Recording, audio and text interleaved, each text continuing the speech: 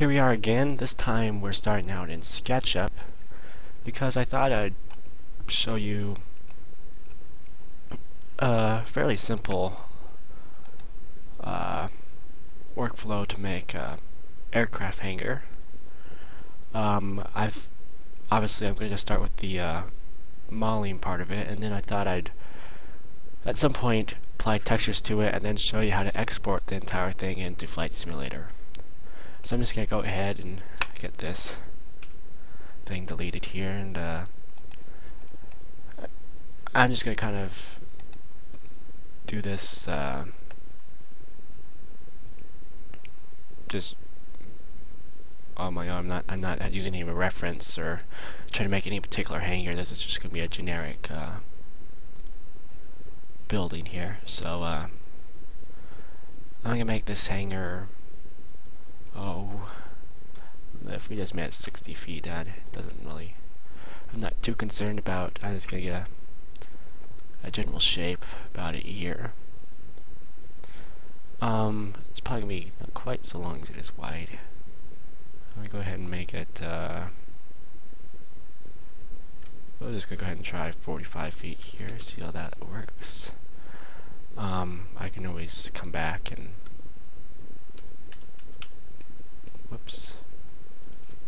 I'll come back and change things up a little if I want to.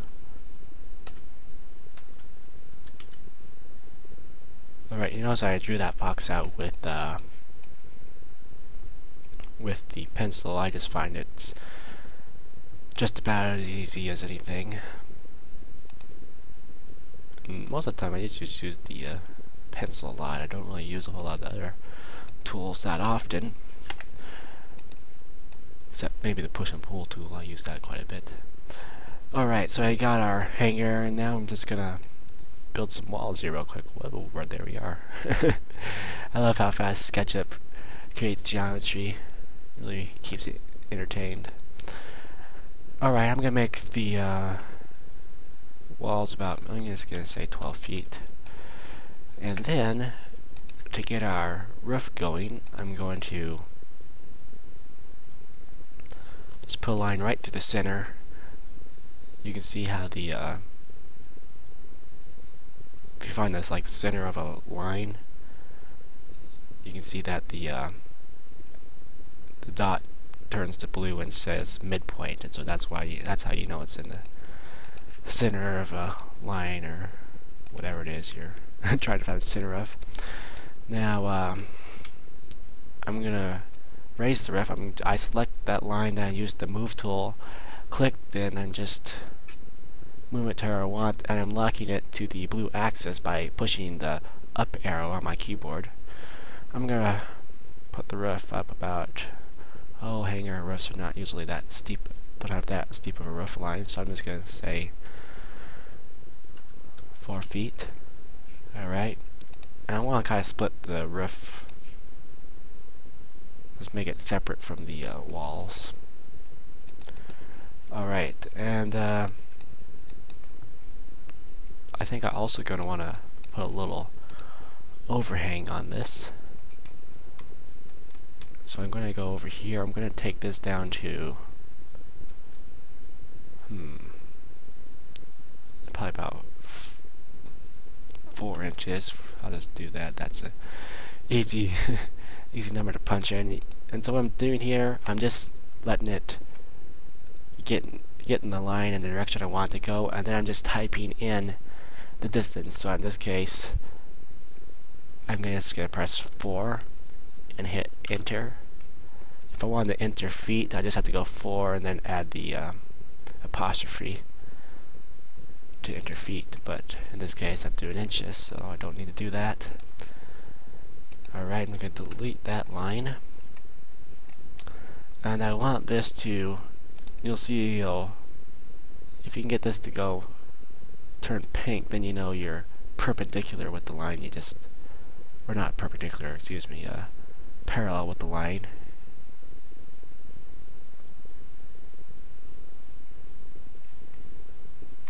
Just had it there and it's not working for me. Let's try this again. Just get a